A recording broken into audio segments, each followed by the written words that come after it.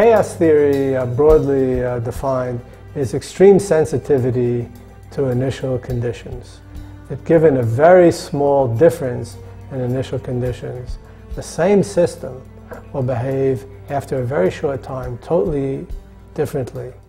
Chaos basically says, can we make a long-term prediction of any kind of a system?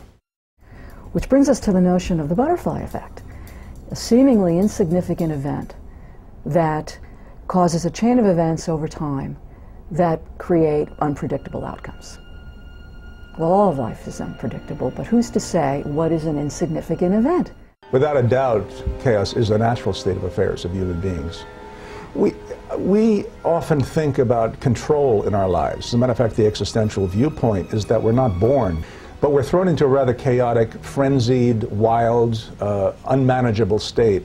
And then we have to make choices moment by moment in order to make sense out of the chaos into which we're thrown. And the problem is that when we try to control that which is out of our control, we become an incredibly anxiety prone society.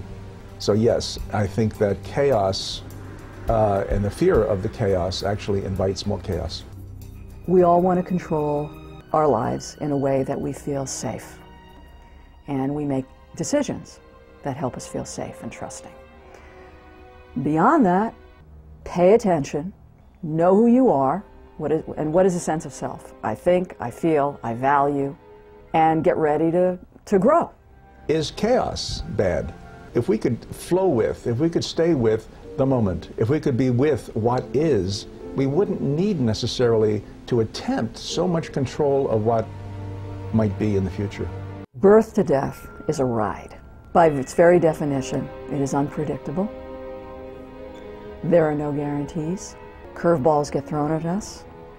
Wonderful things happen.